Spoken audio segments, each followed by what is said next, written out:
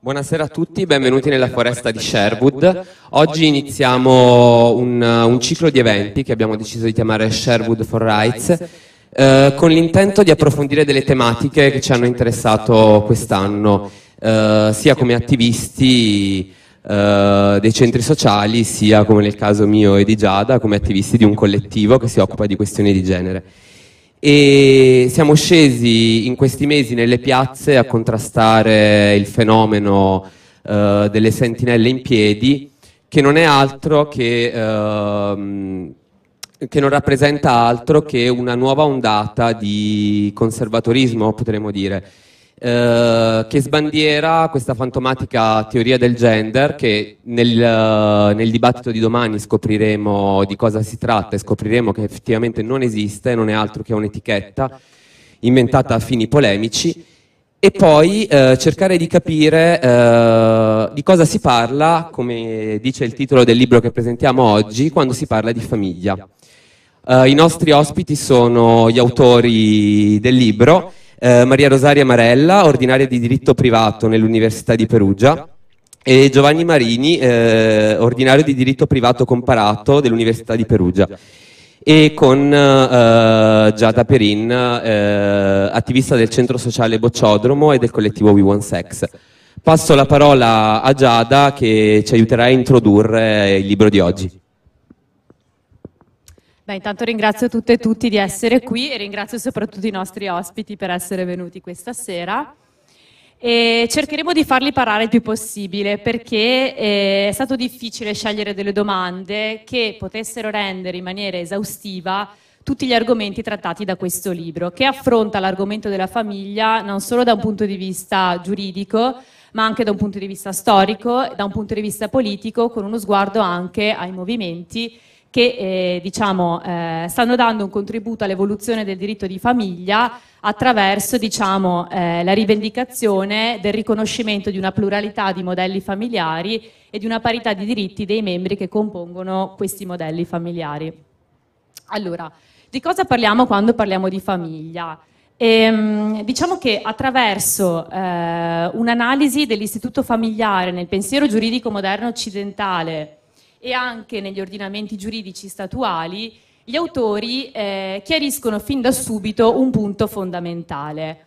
La famiglia non è un ente collettivo naturale e pregiuridico, ma è un istituto del diritto positivo che come tale diciamo, è funzionale al mantenimento di un determinato ordine pubblico e sociale e che è volto diciamo, all'affermazione di determinate scelte politiche, morali ed ideologiche di tipo contingente. Nella prima parte del libro gli autori eh, affrontano diciamo, il modo in cui il diritto, i modi in cui il diritto ha affrontato eh, il tema della famiglia a partire dal pensiero giuridico classico, passando poi per il pensiero sociale, fino alla fase del diritto contemporaneo che eh, diciamo, riconosce una pluralità di modelli familiari all'interno dei quali sopravvivono però le diverse visioni del diritto in maniera diciamo, eh, complessa ed eterogenea. La prima domanda è questa dunque, che rapporto esiste fra il diritto e la famiglia? Perché parliamo di specialità del diritto di famiglia rispetto al diritto che regola i rapporti patrimoniali e in che modo nel diritto contemporaneo si sta superando questa specialità del diritto di famiglia a favore ad esempio di una visione contrattuale dei diversi modelli di famiglia? Grazie intanto per questo invito, per aver deciso di, di presentare questo, questo, nostro lavoro e veramente ci fa molto molto piacere perché quest'anno in particolare si sono uh, succedute una serie di, di, sentenze, di interventi legislativi, eh, di, uh, appunto, di, interventi di corti europee e di altri paesi, come l'ultima, quella della, della Corte Suprema degli Stati Uniti, che ci fanno vedere quanto effettivamente sia corretto quello che diceva Loris, cioè il fatto che la famiglia è sempre più un terreno di, di conflitto eh, politico, però la famiglia è anche una costruzione giuridica. E eh, la costruzione giuridica della famiglia emerge eh, in fondo non tanto tempo fa, eh, se pensiamo alla storia millenaria del diritto, perché eh, emerge nella costruzione di un giurista tedesco molto importante, Savigny, fondatore della scuola storica, che eh, parliamo de, di metà dell'Ottocento,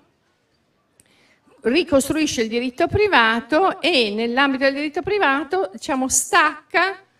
questa branca del diritto facendone il diritto di famiglia, appunto.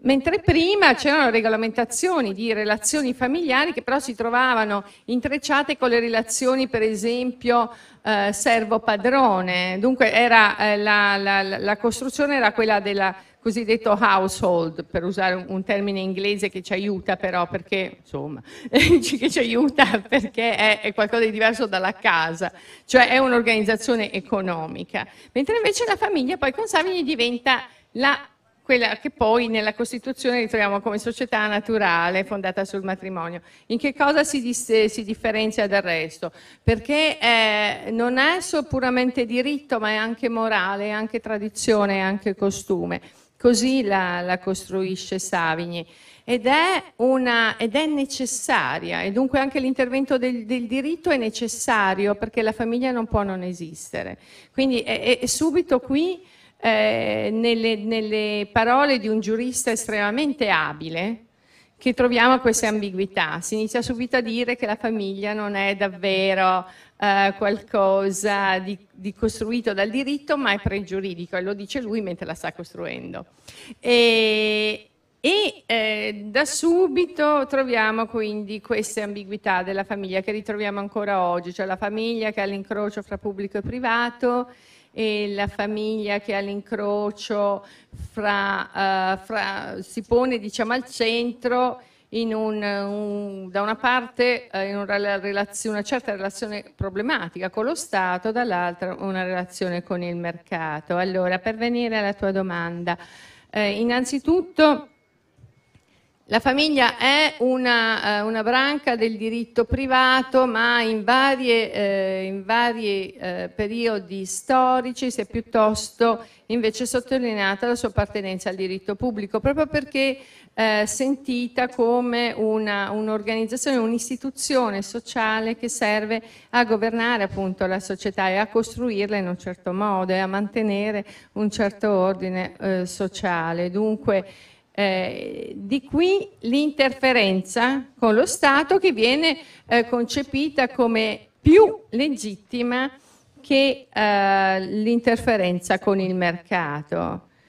Quindi le regole del diritto di famiglia non sono tendenzialmente derogabili, mentre invece lo sono quelle del contratto. E tuttavia eh, questa ricostruzione è estremamente ideologica perché serve proprio a marcare questo spartiacque che in realtà nel, nella tecnica giuridica è molto meno eh, fondato di così. Quindi intervento dello Stato che sembra essere più legittimo nella famiglia, d'altra parte anche però si dice no, perché la famiglia è una società naturale, allora lo Stato non deve intervenire perché è qualcosa di naturale, di pregiuridico, e dunque un'ambivalenza un costante, una tensione costante. E d'altra parte anche il, il rapporto con il mercato. La famiglia appunto Savini la costruisce come qualcosa di diverso rispetto al, al diritto patrimoniale, ma una tradizione che noi eh, recuperiamo, che conserviamo, che eh, fino a poco tempo fa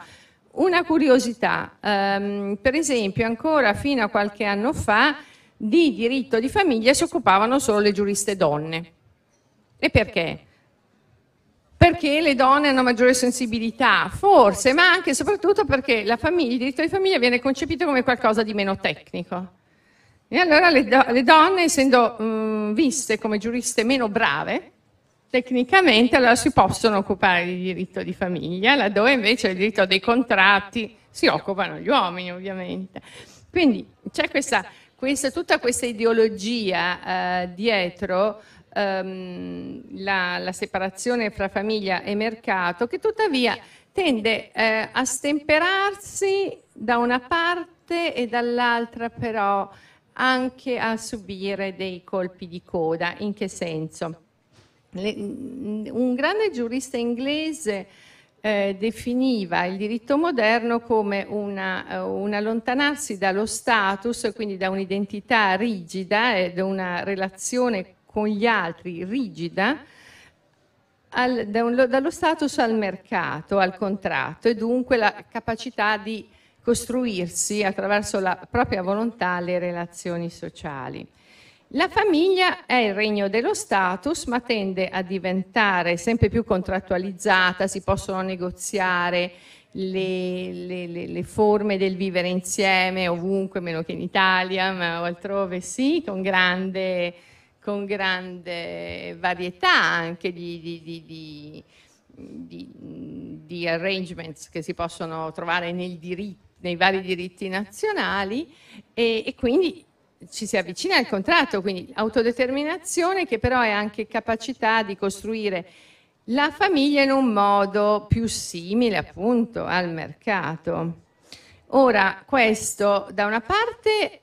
è visto per esempio in Italia appunto dove c'è un, un, diritto tendenzialmente più tradizionale della famiglia, eh, è anche visto con qualche eh, diffidenza e dunque abbiamo avuto per esempio delle sentenze fino a pochissimi anni fa della Cassazione assolutamente contrarie agli accordi fra coniugi in vista del divorzio, che sono più o meno riconosciuti come validi ovunque, proprio perché anche, anche la contrattualizzazione della famiglia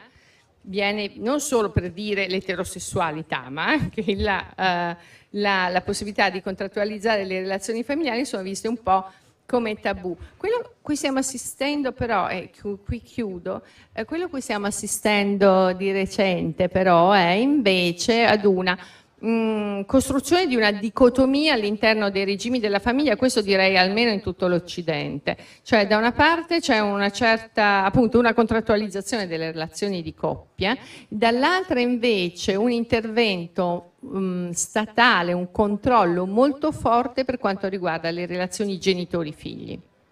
e il diritto dei minori sta diventando oggi lo strumento di controllo di, e di costruzione di un ordine sociale, di controllo delle vite dei genitori.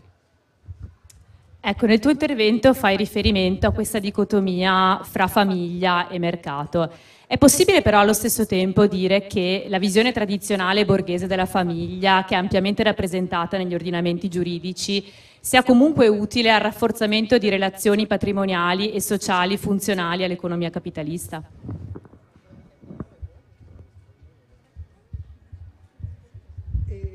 No, certamente ehm, questo dato è estremamente importante, nel senso che eh, l'idea, di, eh, di, famiglia, eh, se da una parte sottrae al mercato, dall'altra parte è funzionale al mercato. E faccio un esempio molto semplice. Uh, la sottrazione al mercato significa che il lavoro di cura della donna all'interno della famiglia non viene retribuito. E dunque che cosa significa questo? Significa che l'uomo mantiene una sua posizione di privilegio e significa che all'interno dei rapporti del diritto di famiglia i rapporti tra l'uomo e la donna sono uh, di nuovo articolati in maniera tale da favorire l'uomo. Questo è molto evidente nella misura in cui noi consideriamo un dato fondamentale che al momento della separazione dei coniugi il lavoro di famiglia non viene retribuito, cioè, cioè il contributo che la donna dà all'andamento familiare non trova alcun riscontro. Questo fa sì anche che questo diritto influisca sulle identità personali perché le donne avranno più difficoltà a lasciare la famiglia laddove non riescono a trovare all'esterno della famiglia dei uh, supporti, delle possibilità di impiego e per una donna che ha lavorato poco è evidente perché si è dedicata alla famiglia, con il passare del tempo questo lavoro, questa possibilità tende a diminuire. Ora, quello che mh, è importante sottolineare è che queste tendenze che ricordava anche Maria Rosaria non sono tendenze solamente nazionali, solamente italiane, ma sono tendenze globali, nel senso che questa specialità del diritto di famiglia è un elemento che è trasversale a tutti gli ordinamenti, si ritrova in tutti gli ordinamenti eh, dei paesi eh, occidentali, si ritrova anche in ordinamenti che dovrebbero essere molto diversi dal nostro, come gli ordinamenti dei paesi orientali, dei paesi islamici. Quindi c'è uno stretto collegamento tra la produzione del soggetto produttivo e il regime del diritto di famiglia, che è un elemento trasversale che caratterizza il panorama di tutti gli ordinamenti giuridici. Grazie. E con riferimento a quello che dicevi tu in questa risposta ehm, e con particolare riferimento al ruolo della donna nel rafforzamento di una determinata idea di famiglia e struttura della famiglia, in che misura si pongono i diritti civili e i diritti sociali nella disciplina della famiglia oggi?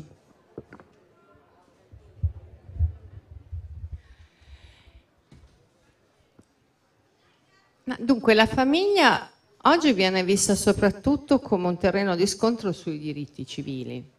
perché eh, le, eh, le, lotte dei movimenti LGBT sono appunto per i diritti civili e per l'uguaglianza, che però non viene mai declinata o scarsamente declinata senso, nel senso dell'uguaglianza sostanziale, cioè di condizioni economiche, ma appunto sul terreno più propriamente dell'identità. E dunque, eh, uguaglianza vuol dire riconoscimento, mentre invece eh, non si stenta a vedere nella famiglia e nel suo regime giuridico una fonte di redistribuzione di risorse. Ora invece questo è molto chiaro in, in alcuni passaggi mm, che, sa, che hanno portato al riconoscimento del matrimonio same sex negli Stati Uniti e in particolare in una sentenza del 2003 eh, della Corte Suprema del Massachusetts in cui eh, viene riconosciuto per la prima volta la legittimità del, del matrimonio same sex e qui come un materia di uguaglianza. Qui la Corte Suprema del Massachusetts fa un discorso molto interessante, cioè dice che eh, L'accesso al matrimonio da parte delle coppie same sex è una questione di uguaglianza perché il matrimonio elargisce tutta una serie di benefici sul piano dell'accesso a diritti sociali, quei pochi esistenti, ma comunque sul piano anche di quei diritti sociali che hanno una, un fondamento, un'organizzazione di carattere privatistico. Per esempio pensiamo agli Stati Uniti molto rilevante la, sono le assicurazioni sulla salute.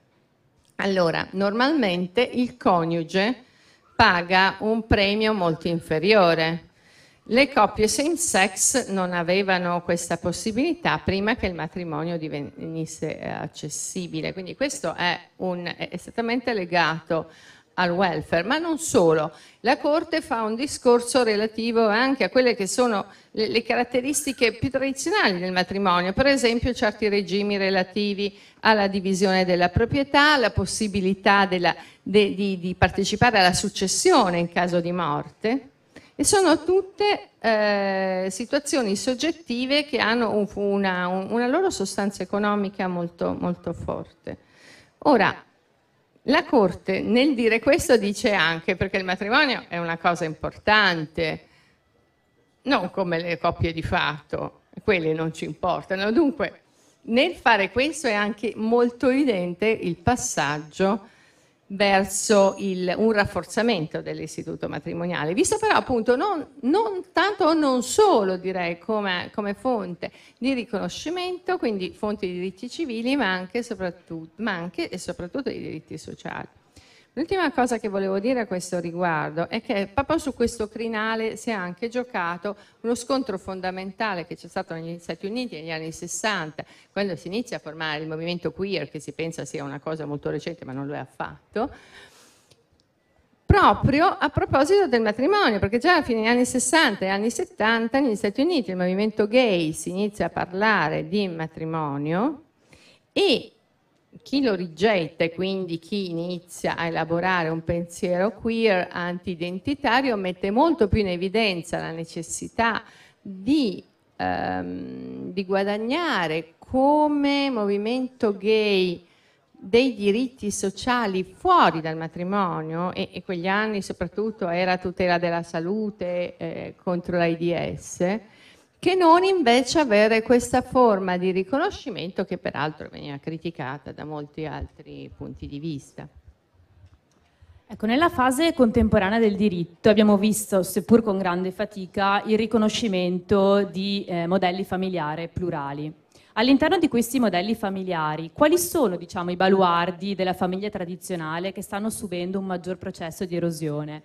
Voi nel vostro libro fate riferimento a due esempi, quello della dissociazione fra matrimonio e famiglia e quello ulteriore della dissociazione fra matrimonio e coppia. Potete spiegarci questi passaggi? Diciamo una cosa importante, prima di entrare nel specifico di questa domanda, io volevo sottolineare la cosa che ha detto da ultimo Maria Rosaria perché secondo me è un momento fondamentale, è una prospettiva fondamentale attraverso la quale noi dobbiamo guardare questi problemi. Cioè vale a dire che noi facciamo una battaglia o siamo dentro una lotta per due questioni che sono completamente diverse anche se sono interrelate tra di loro. Cioè una è il riconoscimento di una identità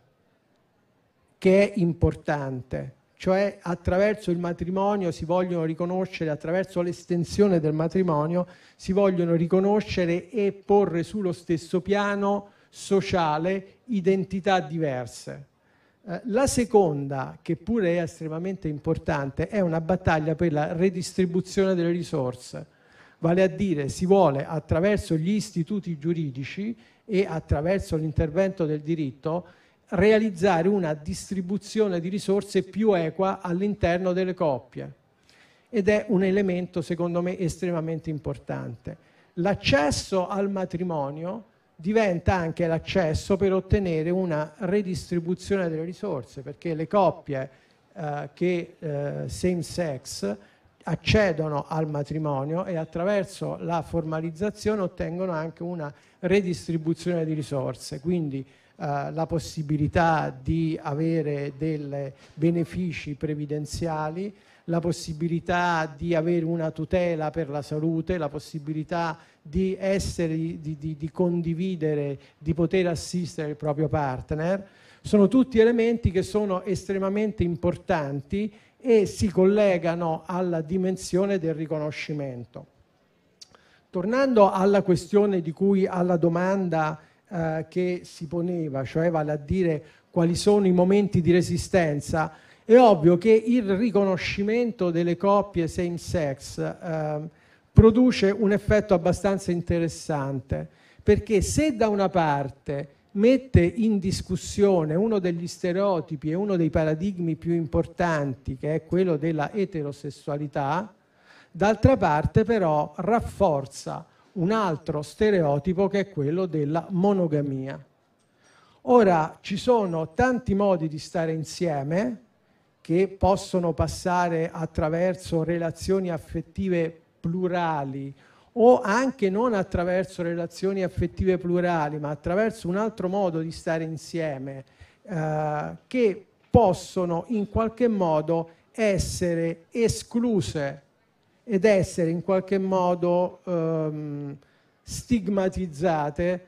rispetto al riconoscimento del matrimonio same sex. Cioè, quando si parla di riconoscimento c'è una inclusione che implica necessariamente un'esclusione. Quando noi ci poniamo da questo punto di vista dobbiamo cercare di capire, fare un'analisi attenta a quali sono i vantaggi della inclusione e quali possono essere gli svantaggi di questa esclusione.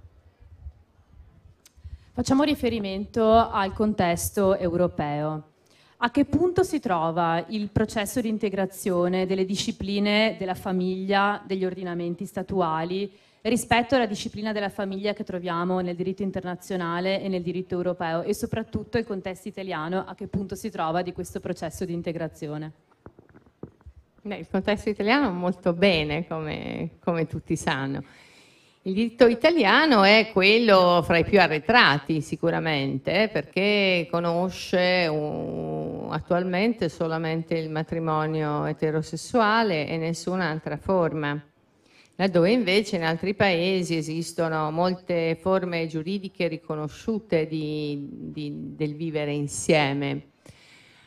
Anche se c'è un approssimarsi verso il, il matrimonio same sex da parte di tutte.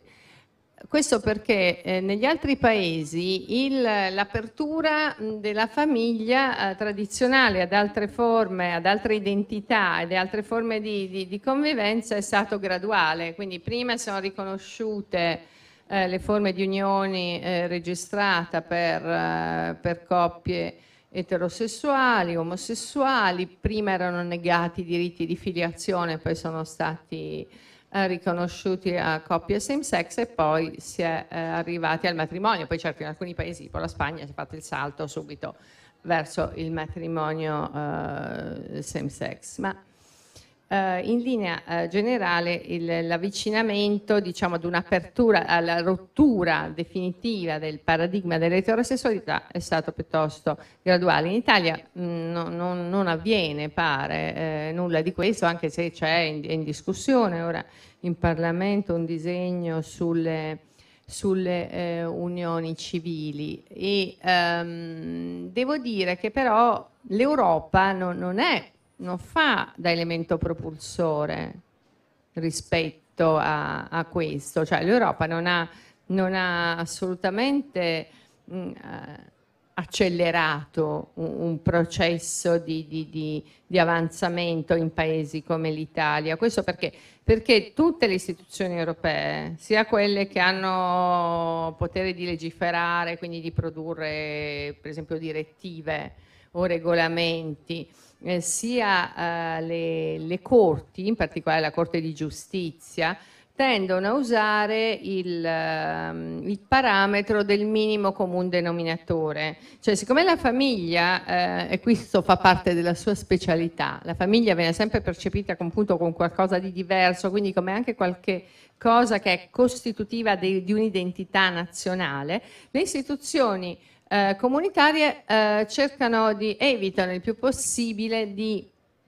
di imporre standard che non sono accettati in un diritto nazionale e dunque eh, si attestano sul minimo, eh, che eh, il minimo attualmente effettivamente è il matrimonio eterosessuale. E dunque questo spiega perché l'Europa, anche a dispetto di una certa norma della carta di Nizza che sembrava poter aprire, poi invece non, non sta funzionando in questo senso. Passo un attimo la parola a Loris. E, mh, mi avete fatto anche riferimento al caso irlandese, per esempio, adesso c'è stato il referendum in Irlanda tramite il quale si è, si è, c'è l'accesso al matrimonio per le coppie omosessuali. Eh, ma l'Irlanda è anche il paese in cui ancora non è possibile abortire. Eh, che collegamento c'è, se c'è, tra queste due cose e perché un paese come l'Irlanda, fortemente cattolico, eh, accetta eh, il matrimonio omosessuale ma rimane ancora rigido nei confronti dell'aborto?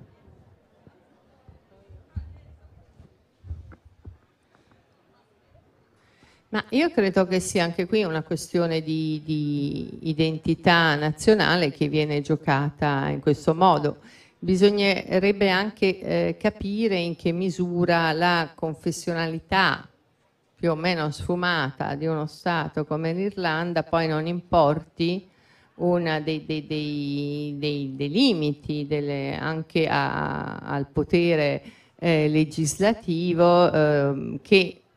possono essere avvertiti come più forti rispetto all'aborto che non rispetto al matrimonio same sex, perché comunque, come abbiamo detto, il matrimonio same sex è comunque una conferma della centralità del matrimonio come elemento di organizzazione sociale,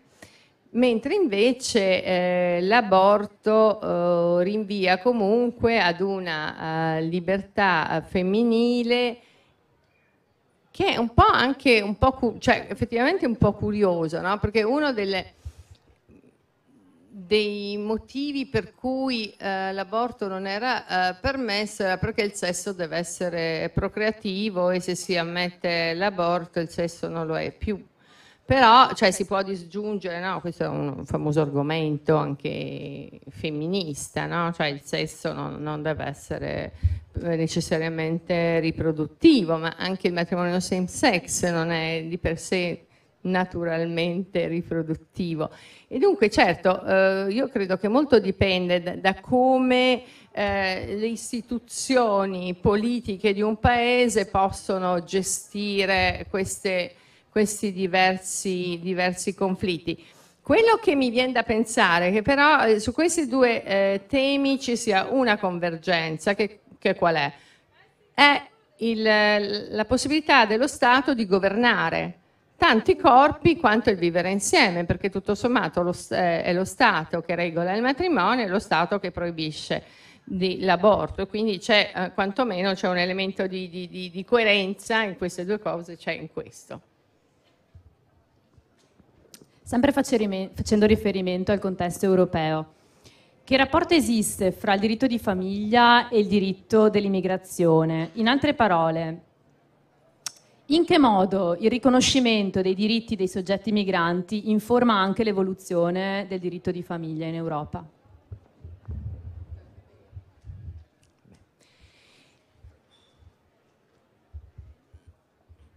Ma anche qui non, ehm, non c'è stata una, una, grande produzione perché, eh, come dicevo, le istituzioni europee hanno eh, teso a, mh, a, non entrare troppo ne, nella famiglia. In realtà è proprio la circolazione delle persone che porta la Corte di Giustizia e contemporaneamente la Commissione a iniziare a costruirsi una competenza nella famiglia che in teoria poteva non esserci perché l'obiettivo era quello di costruire eh, un mercato eh, unico, quindi la famiglia tutto sommato non si vedeva perché dovesse essere, perché mai dovrebbe, dovesse entrarci, invece proprio la circolazione delle persone che inizia a interrogare le, le, la Corte di Giustizia perché si pone il problema proprio dei conviventi non coniugati. Possono, essere, possono accompagnare il, il, partner e quindi avere il permesso di soggiorno ed è proprio eh, questo che inizia a costruire una attraverso questo che, che, la Corte di Giustizia si costruisce una competenza eh, nel diritto di famiglia. Qui abbiamo un, eh, parlando ancora di cittadini di Paesi membri, devo dire che anche qui è stato usato un, uh, un metro uh, molto restrittivo che ha impedito per esempio di poter usufruire dell'avanzamento di altri diritti, di diritti di altri Paesi membri a, a fini di uh, rendere più flessibile il nostro diritto, perché ehm, la direttiva che prevede la possibilità per partner anche same sex di, ehm, di, di, di seguire il proprio partner eh, fa riferimento solamente ai paesi che già abbiano un tipo di legislazione del genere, quindi quella direttiva non si applica all'Italia e dunque non è servita a, ad avanzare il diritto italiano. Per quanto riguarda l'immigrazione, il modello è quello della, um, della famiglia nucleare, quindi eh, il, nel diritto del ricongiungimento di cittadini, non di, cittadini di paesi, non di paesi membri, quindi cittadini extracomunitari, può, il ricongiungimento è riconosciuto solo eh, nei confronti di un partner. E quindi per esempio l'istituzione poligamica non è non è riconosciuta e altre forme che appunto non siano previste dal diritto europeo. Rispetto a, alla poligamia c'è stata una, una, prima apertura che poi invece è, è stata negata successivamente, quindi attualmente i, comunque i matrimoni poligamici sono, sono contrari all'ordine pubblico in linea di massima, quindi non vengono riconosciuti. Un altro modo per intervenire rispetto a culture extracomunitarie è la, la questione del matrimonio non volontario, diciamo, quindi non so, i matrimoni combinati, i matrimoni con minori sono tutti ritenuti invalidi e quindi quello è un altro modo per esportare. In, in linea generale diciamo che l'esportazione della cultura dei diritti umani è anche un modo di, di intervenire in modo mh, mm, capillare sulle culture altre, perché i diritti fondamentali nel, nel, se eh, hanno come interfaccia diciamo, l'organizzazione familiare fanno riferimento a che cosa? Alla parità fra i coniugi, a un certo trattamento dei figli minori, che comporta poi, che porta con sé tutta una serie di stereotipi sociali fortissimi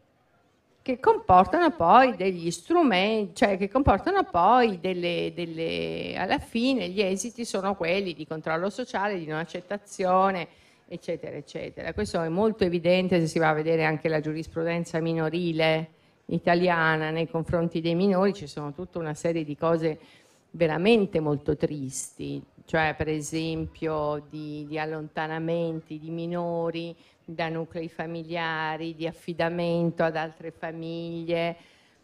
proprio fatte veramente sulla base di, di, stereotipi. Devo dire che molti, molti giudici minorili italiani sono molto bravi in questo, cioè sono molto avanti, molto in grado di, di, di cogliere appunto la, la potenza distorsiva dello stereotipo, però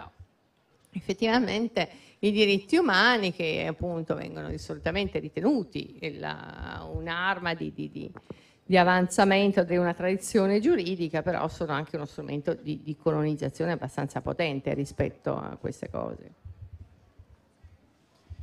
In chiusura, abbiamo, abbiamo capito che ehm, c'è un distaccamento tra la famiglia e il matrimonio, cominciano ad esserci anche nuove forme di riconoscimento, per esempio eh, i PAX eh, di, di, famiglie diciamo, che non rientrano nel matrimonio. Eh, e il matrimonio è evidente che è un'istituzione in crisi, lo vediamo dai tentativi per esempio di, del divorzio breve, di... Mh, anche lo stesso matrimonio senza ex può essere un tentativo di salvare un'istituzione che sta, che sta crollando. Eh, secondo voi, eh, che futuro eh, può avere l'istituzione matrimoniale se ne ha ancora e eh, come farà ad affrontare appunto eh, le nuove forme eh, quali il poliamore, nuove forme di rapporti interpersonali che, che esistono e che cercano di prendere sempre più voce. Insomma, mi pare che hai molto bene eh, posto la questione, cioè dicendo che c'è una crisi del matrimonio e dunque l'intervento statale è quello di rafforzare il matrimonio sia nella versione etero che nella versione same sex, nella misura in cui garantisce il profilo della monogamia, cioè vale a dire un profilo intorno al quale si regge un determinato assetto sociale e dunque anche una distribuzione di poteri e di risorse che ruota intorno alla monogamia. Uh, è evidente che per il matrimonio è ovvio, è difficile uh, poter uh, rispondere, cioè non è l'istituto, se noi lo leggiamo così, non è l'istituto giuridico che è idoneo a dare rilievo alle altre forme di convivenza. è interessante che però nel nostro diritto eh, si è percorso, come nel diritto di altri paesi, una strada che è parallela a quella della famiglia ed è la strada dei diritti della persona, cioè l'idea che noi abbiamo un diritto ad autodeterminarci in alcune scelte esistenziali che sono costitutive della nostra personalità. Questo è un diritto che è, per esempio, negli Stati Uniti, eh, tutta la questione del riconoscimento dei matrimoni same sex è iscritta dentro un diritto di autodeterminazione che si chiama il diritto alla privacy. Nel diritto europeo questa parola è tradotta in un diritto alla vita privata, il che significa che noi abbiamo il diritto di poter scegliere i tipi di associazione nei quali associazioni intima, relazioni personali che vogliamo svolgere perché sono un profilo essenziale della nostra persona questa scelta ovviamente è, ehm, si contrappone a qualunque tipo di intervento statale che voglia, che voglia comprimerla. Quindi secondo me questa potrebbe essere una delle risposte. È ovvio che però gli arbitri di questo discorso sono le corti, sono i giudici, i quali tendono nei loro valutazioni, pur essendoci molti casi nei quali hanno dato prova, come diceva Maria Rosaria, di grandissima lungimiranza, però quando si passa alle Corti Supreme, quando si passa alle Corti Costituzionali, le Corti Costituzionali cercano come dire, di collegarsi a ciò che è la tradizione culturale e giuridica di un determinato paese. E dunque alcune forme di associazione che sono minorietarie, che non, sono, che non godono ancora di un riconoscimento sociale eh, fondato e condiviso, sono in qualche modo osteggiate. E dunque di nuovo ritorniamo alla... Uh, non tutela delle espressioni minorietarie o delle espressioni idiosincratiche della propria personalità. Ringrazio i nostri ospiti eh, e Giada per avermi assistito nell'intervista e vi ringrazio soprattutto per aver fatto luce appunto su che cos'è la famiglia. Eh, il libro lo trovate qui e ringrazio tutti e vi ricordo che domani eh, c'è il dibattito Ma quale ideologia del gender? con gli ospiti Lorenzo Bernini, Sara Garbagnoli e Leonardo Bianchi.